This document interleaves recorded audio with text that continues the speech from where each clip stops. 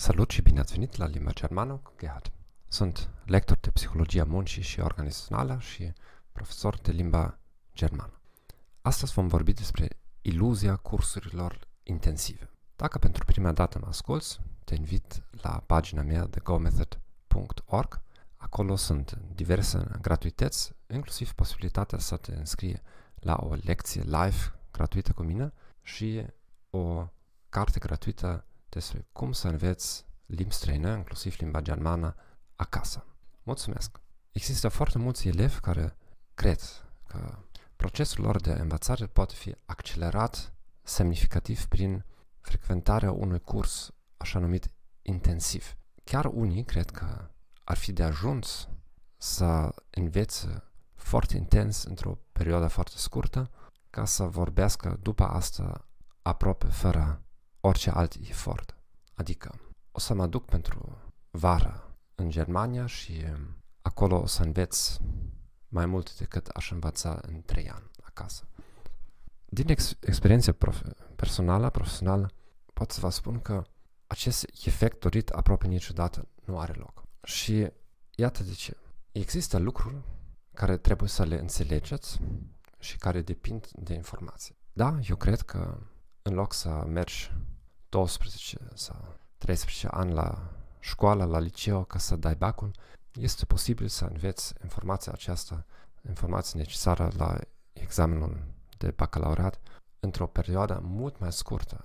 Eu chiar aș vrea să fac un experiment și aș prezice că în afară de deprinderile de bază care le putem învăța acasă, poate ar fi necesar de maxim 2 ani de pregătire pentru a susține pacul maxim.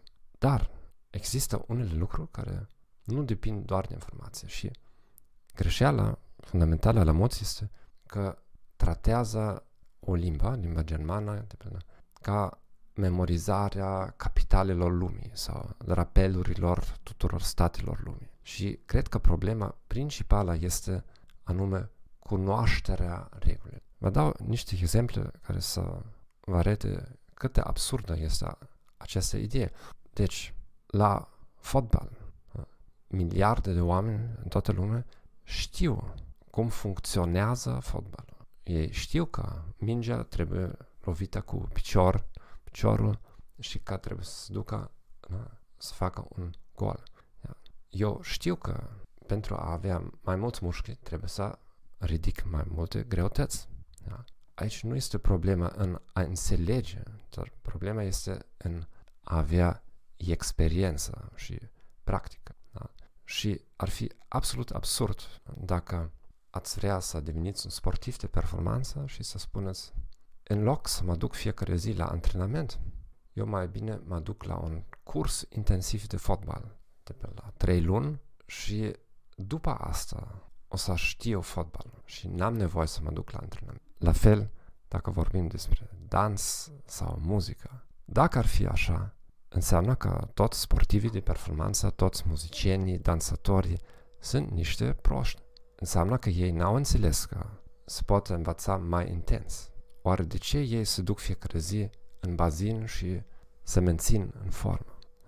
La fel, majoritatea profesioniștilor care fac maraton, toți sunt niște proști, fiindcă ar putea să aleargă mai repede la început. Dar de ce merg așa încet la început? Eu sunt mai deștept, eu fac un sprint.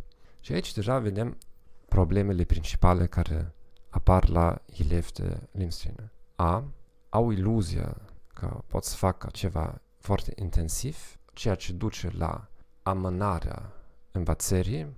Acum nu are sens să înveți, fiindcă aștept până când vine cursul acesta intensiv. Până acum, până atunci, n-are rost să fac prea multe, o să aștept până când sunt în Germania. Și doi, depun la începutul învățării prea mult efort, astfel încât după două, trei luni deja cad epuizați și nu mai fac nimic. Deci, învățați aici la oameni mai deștepți decât mine nu? și evaluați orice disciplină care ține de experiență și formă, orice sport care vă place, orice direcție artistică și pur și simplu studiați ce fac oamenii aceștia. Eu vă pun pariu ca fără excepție, toți au o rutină zilnică extrem de meticuloasă și toți acești profesioniști o urmăresc în mod religios.